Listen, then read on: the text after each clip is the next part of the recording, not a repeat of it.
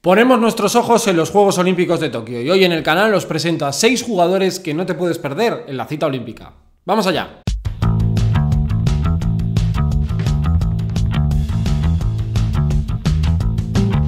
Muy buenas bienvenidos a mi canal, hablemos de básquet, hablemos de los Juegos Olímpicos de Tokio y aquí llegan algunos de los vídeos especiales previos a esa cita de la última semana del mes de julio, donde empezarán los Juegos Olímpicos, donde ya tenemos los 12 equipos eh, y os voy a dejar el cuadrante aquí para que lo veáis encima sobreimpresionado por si tenéis alguna duda, en la que ya hemos analizado en esta lista de reproducción eh, qué suponen los preolímpicos, los 12 equipos que están, haremos una guía evidentemente de todos esos eh, grupos, de esos tres y vamos a hablar un rato de ahora de talentos, no digo jóvenes, sino talentos un poco más desconocidos que creo que merece la pena que vayamos analizando y que podamos ver, ¿no? Realmente en esta cita. No voy a hablar de Kevin Durán, de Pau Gasol, de Luis Escola, Facundo Campazo, sino jugadores un poco más eh, de nicho, que creo, algunos con experiencia en NBA también, pero que igual el gran público no los ha visto tanto y que creo que hay que disfrutarlos. Te invito a que te suscribas y si quieres que hagamos una segunda cita con otros seis jugadores, si lo apoyas mucho con un like y veo que os suscribís y le dais mucho cariño al vídeo a modo de comentarios, lo tendréis próximamente, porque además me encanta ir descubriendo jugadores y que hay gente que me dice, he visto gracias a ti tal jugador,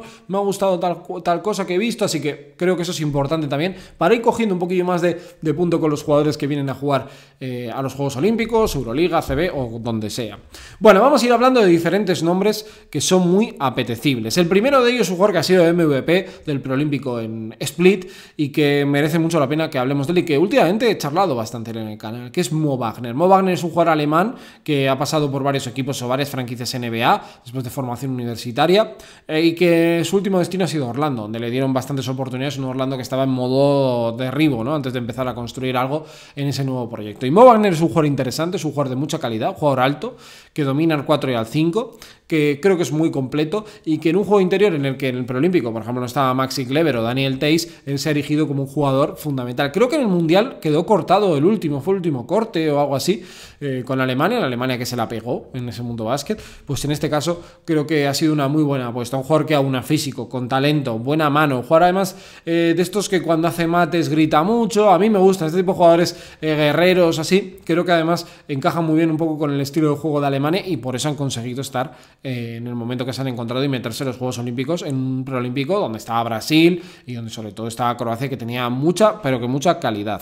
Siguiente nombre, de la sorpresa de la selección de República Checa, me voy a quedar con un jugador que seguramente algunos os acordáis del de la Liga CB, pero que no es ni Balvin, ni Vesely, ni Satoransky. Se llama Patrick Auda. Es un jugador que está jugando en Japón, que tuvo etapa, yo recuerdo una vez y si veis Bon Navarro este vídeo, se acordáis, creo que le echó una bronca tremenda en un tiempo muerto que se hizo muy viral. El año que estuvo Ivonne Navarro, los años que estuvo Ivonne Navarro allí en, Manresa. Y creo que es un jugador eh, interesante, que ha mejorado mucho del que vimos en este caso en la Liga CB. Muy zurdo, muy zurdo. Físicamente bastante poderoso, un todoterreno.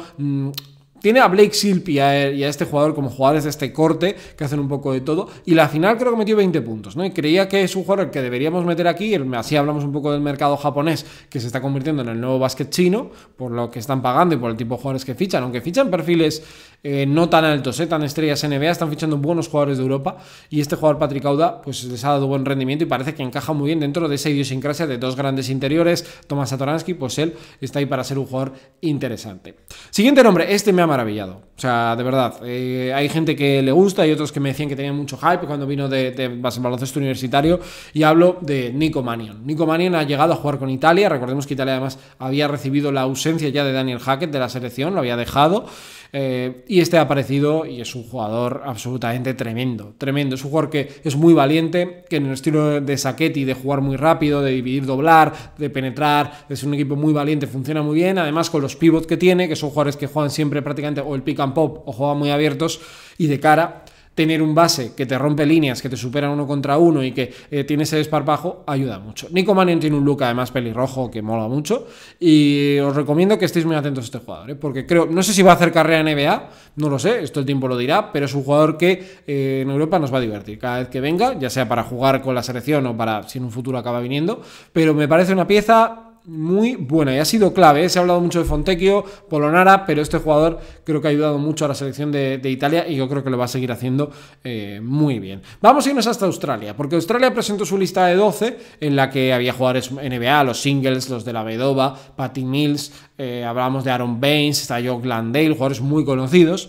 Y hay otro jugador que se le conoce menos y al que todos tenemos muchas ganas de ver. Yo el primero, que es Josh Green, jugador de Dallas que hablamos de él en la lista de convocados de Australia, en esa lista de reproducción que os habrá aparecido por aquí arriba en la tarjetita, y que creo que es una pieza muy a valorar. Un jugador que quiero verle en este contexto, vamos a ver qué minutos tiene, cómo aprovecha, porque también está Matisse que juega por fuera, eh, con Exum Mills, el de la Vedova, va a jugar mucho tiempo con dos bases, pero si Green tiene la oportunidad, estos jugadores hay que estar muy atentos, que igual este año no es su Olimpiada, pero sí puede ser su próximo mundial la cita donde dé el paso adelante o en los próximos Juegos Olímpicos. Jugador que todo el mundo me ha hablado muy bien, yo lo que le he visto me ha gustado y creo que es una pieza que también tenemos que valorar y tener en cuenta. Y las dos últimas que os voy a contar, uno es esloveno, aviso, no es Luka Doncic, no era muy difícil adivinarlo, pero sí para mí es el segundo jugador en cuanto a importancia, o tercero, de esta selección. La llegada de Mike Toby creo que ha hecho que Doncic Toby eh, sea una pareja clave para el juego de 2 para 2 y que el resto del juego posicional se desarrolle. Y creo que la evolución que ha tenido Kankar, eh, que fue campeón de Europa en 2017 también con aquella Eslovenia,